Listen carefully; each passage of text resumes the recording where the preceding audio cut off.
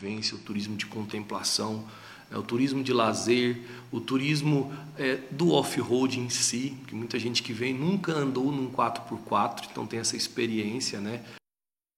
Que maravilha, né? Parabéns, Jalapão, pelos seus 22 anos. O Jornal Anhanguera fica por aqui. Outras notícias no nosso portal, o G1 Tocantins. Uma boa noite para você e até amanhã.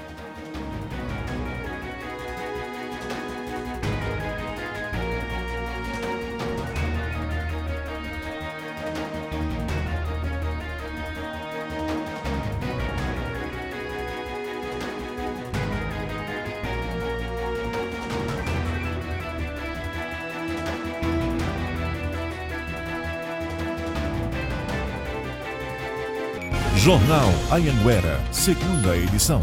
Oferecimento Rede Medical, Pronto Socorro, Adulto e Infantil, 24 horas.